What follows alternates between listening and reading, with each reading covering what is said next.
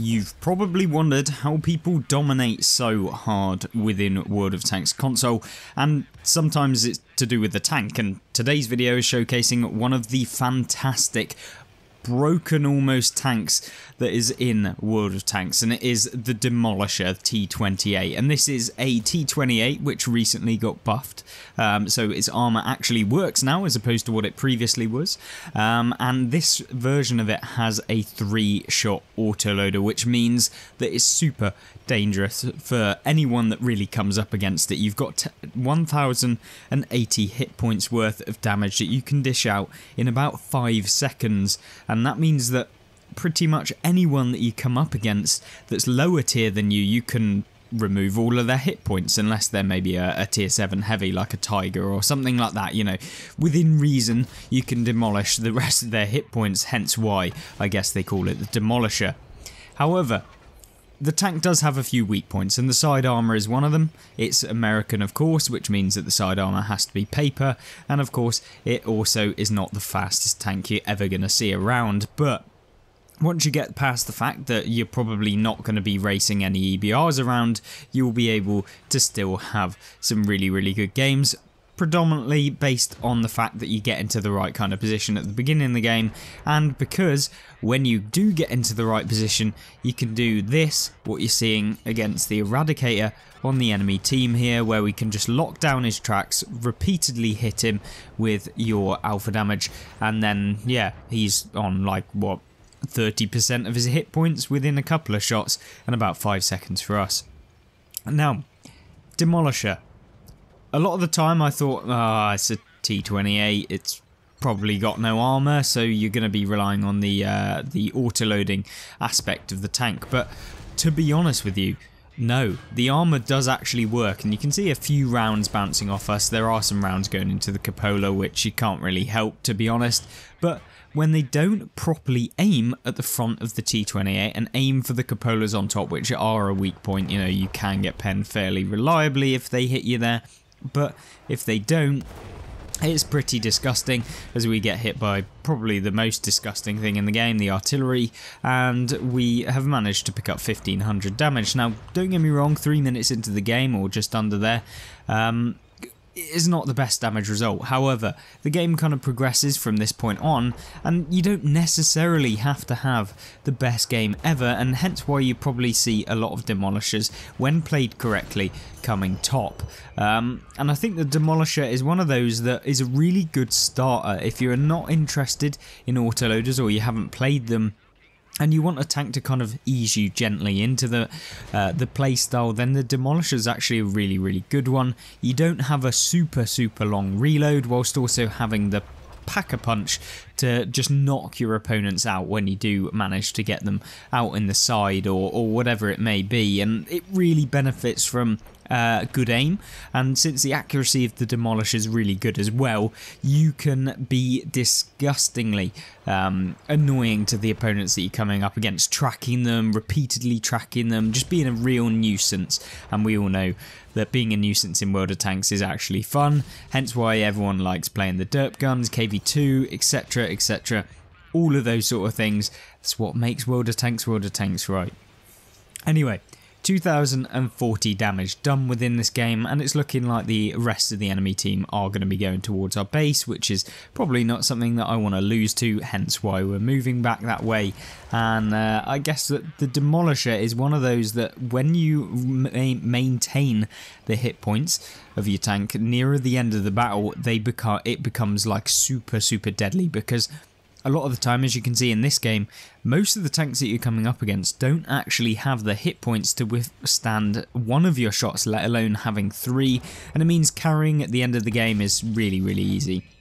And the sort of situations, what you can see here, where you're coming up against uh, the side or broad side of tanks and they literally don't know what they're doing, it's so easy to pick up damage and 3000 damage may not seem like a lot but when you combine that with the fact that you can earn I believe 75% extra silver with this tank it means that you can really make unbelievable amounts of silver. And when you actually couple that with the fact that if you have the season pass and you've completed the season and then you've progressed a little bit further as well, you will have been able to get an extra 25% silver plus any silver boost. You know, this is like having a Cold War premium in World War II. It earns genuinely like 150,000 silver a game, uh, and if you have a superb game uh, and you're not using boosters, you'll still earn like 200,000 silver, which is amazing.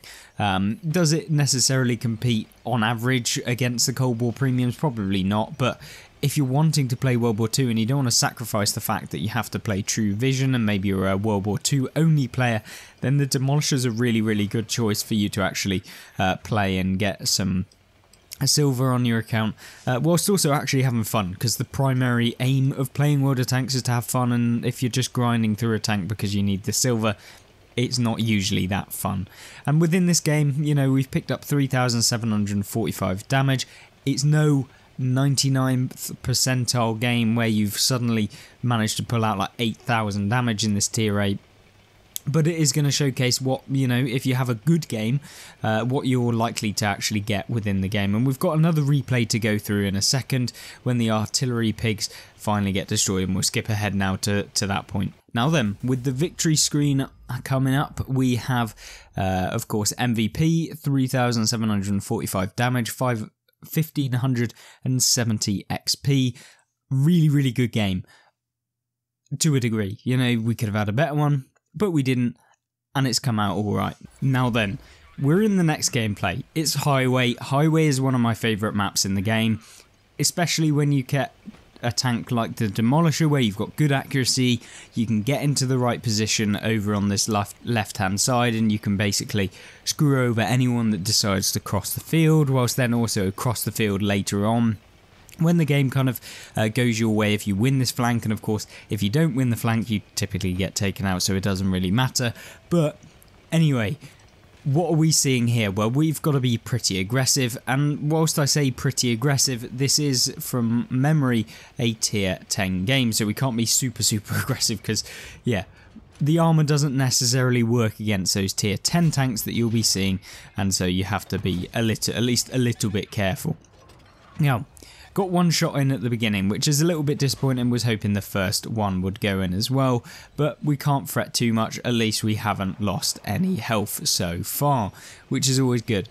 Anyway, with the Conqueror advancing and this light tank being over here, it could be a little bit difficult for us to kind of move forward and, and help our team over on the left hand side, um, uh, at least on the opposite side of the map, but we do manage to pinpoint a shot between the uh, Emil on our team's uh, turret and his hull, which is nice. Now we do have this light tank that's pushed up over to the left. We're on a bit of a long reload, which is obviously not ideal. 17 seconds, although being quite a long period of time, I guess, where you haven't got anything to do, uh, where you could get caught out, is not long enough to warrant a lot of the enemies being able to like deal multiple, multiple shots in a row into you because you know, 17 seconds, that's usually about two heavy hits from like a heavy tank or something like that. So it's not the world's end when so you uh, you get found out and someone just manages uh, to kind of get you. Obviously being focused by the artillery for some reason, apparently trying to shoot behind the building and just going for splash damage of 50 is worth it, but there we go, hey ho. If it was me in the artillery, I'd be going for the full health tanks because what's the point in playing artillery when you're going for like 50 damage? Anyway, 1594 damage in this game. In order to actually make it a good game, we have to advance. I'm in this sort of boat where sometimes being passive and being a super, super passive is not always the best option because sometimes if your team aren't being aggressive or maybe they're not spotting or maybe they don't know where to go and when to push, this sort of play can be really, really beneficial for your team. And already we've managed to spot two tanks here that probably wouldn't have got spotted as easily.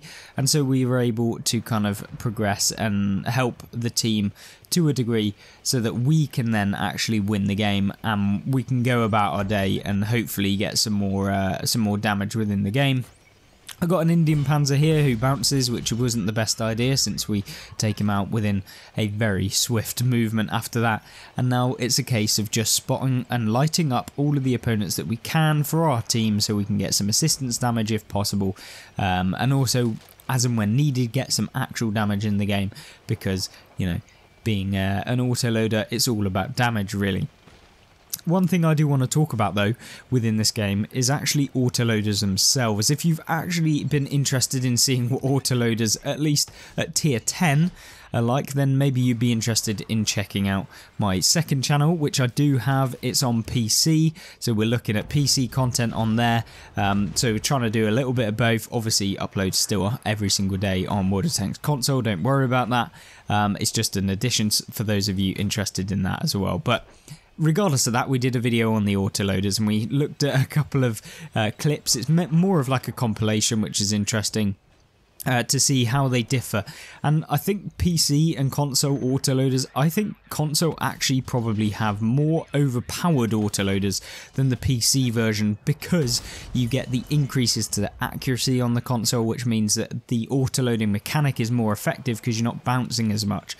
And also, you get a better reload as well because you have perks that literally increase the reload of those autoloaders by 10%, which you don't get on PC and that is really where I think console and PC uh, have kind of gone their separate ways. Autoloaders have become even more overpowered, being that if they're in the right hands on PC, they are super overpowered. But on console, autoloaders are even better, which makes me think like if you had an autoloader variant of a tank compared to the normal standard version, nine times out of ten, I'd actually pick the autoloader version. And of course, that is exactly what we're doing here, probably the reason why I actually enjoy playing the Demolisher over playing the Tech Tree T28 prototype, but there we go, a pretty bog standard game, at least with damage and combined, but we picked up 93,000 silver, which is really, really nice with no XP boosters or silver boosters whatsoever. Don't forget, check out that video on autoloaders on screen right now if you're interested for PC, and of course there is also the gameplay of the Löwe as well. Thanks for watching, hope you have a great rest of your day, and I'll see you in the next one. Goodbye.